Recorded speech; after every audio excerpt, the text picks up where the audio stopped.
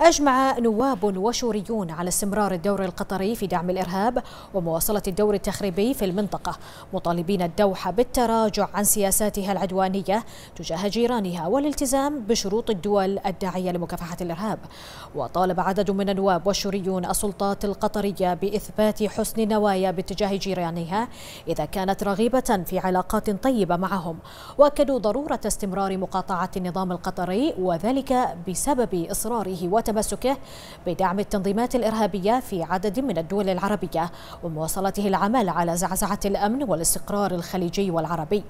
وشدد أعضاء السلطة التشريعية على أن المقاطعة تأتي للحد من التوجهات القطرية الداعمة للإرهاب ونشر الفتن في الدول الخليجية والعربية منوهين إلى أن التدخلات القطرية السافرة لزعزعة الأمن في مملكة البحرين والتدخل في شؤونها باستمرار ودعم الأنشطة الإرهابية المسلحة وتمويل الجماعات المرتبطة بإيران. إيران